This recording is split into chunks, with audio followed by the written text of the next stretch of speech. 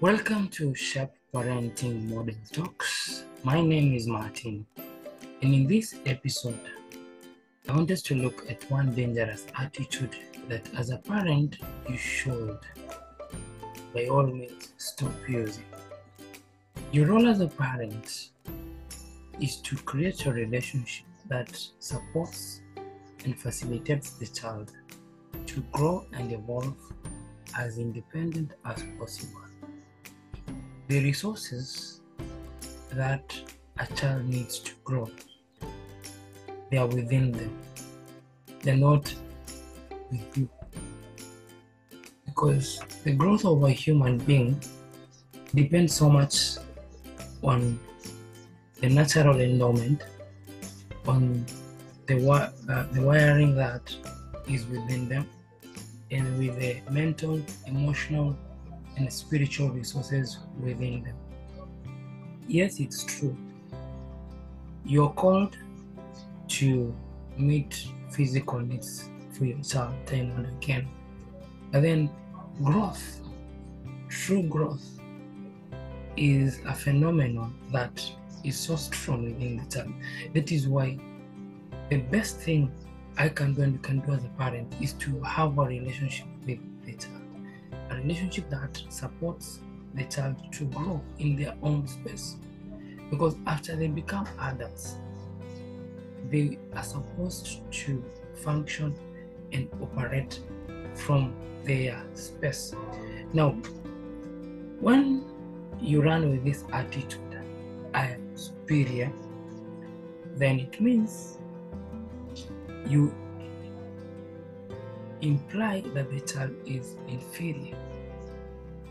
Whenever a relationship is based on superior and inferior, one person feels disadvantaged.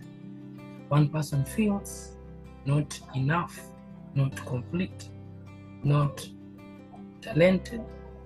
So one person feels they are a puppet of the other.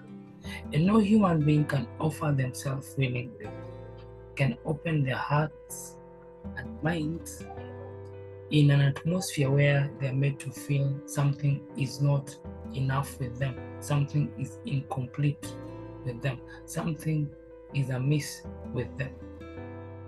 And so, superior and superior attitude is definitely going to stop your child from willingly opening their world to you. You are not to stop the child living from the world. You are to support them to live from the world because that is their foundation. You're growing older. A time is coming, you'll exit the stage and your child will be on stage. So it's important that you stop approaching parenting like it's a superior inferior kind of a game because then your child will block you. They might survive they might offer allegiance and submission because when they're children they're helpless they're dependent.